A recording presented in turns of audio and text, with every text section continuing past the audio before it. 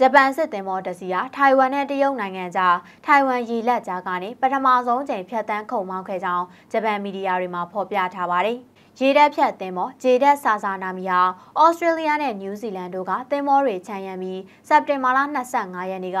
ထိုင်ဝမ်ရေလက်ကြားကိုမြောက်ကနေတောင်သို့ဖြတ်တန်းခဲ့တာပါ။အဲ့ဒီသင်္ဘောဟာတောင်တရုတ်ပင်လယ်မှာပြုလုပ်မဲ့ပူးရဲစစ်ရေးလေ့ကျင့်မှုမှာပါဝင်ရေးခုံမောင်းနေတာဖြစ်တယ်လို့ဂျပန်ဝန်ကြီးတွေကပြောကြားပါတယ်။ တရုတ်ကိုစိတ်မပြတ်စေရအောင်ဂျပန်ကထိုင်ဝမ်ရေလက်ကြားကဖျက်ဆီးသွားလာတာမျိုးလုပ်လို့မရှိခဲ့ပဲယခုလုပ်ရဟာတိုကျိုရဲ့တိတာတဲ့လုပ်ရတစ်ရက်ဖြစ်ပါတယ် ဒီလိုဖြတ်တန်းမှုနဲ့ပတ်သက်လို့ဂျပန်၊ထိုင်ဝမ်နဲ့တရုတ်ကပါတရားဝင်မှတ်ချက်ပြုထားတာမရှိသေးပါဘူး။တဘာဝတယံဇာတာကျွဲသွားပြီးတံမိုးကြီးများတဲ့ကုံသွယ်ရေးလမ်းကြောင်းတစ်ခုဖြစ်တဲ့တောင်တရုတ်ပင်လယ်တစ်ခုလုံးကိုတရုတ်ကသူတို့ပိုင်နေဆိုပြီးပြောဆိုထားပါတယ်။ထိုင်ဝမ်ကိုလည်းပြန်လည်ပေါင်းစည်းရေးအင်အားသုံးဖို့လိုအပ်ရင်အင်အားသုံးသွားမှာဖြစ်တယ်လို့ဘေကျင်းကပြောဆိုထားပါတယ်။ဂျပန်ရဲ့ယခုလုပ်ရဟာကာလရှည်ကြာရှိတဲ့တရုတ်ကိုဓာတ်ရိုက်စိန်မခေါ်ရေးမူကနေတတိတသာခွဲထွက်မှုတစ်ခုဖြစ်နေတာဖြစ်ပါတယ်။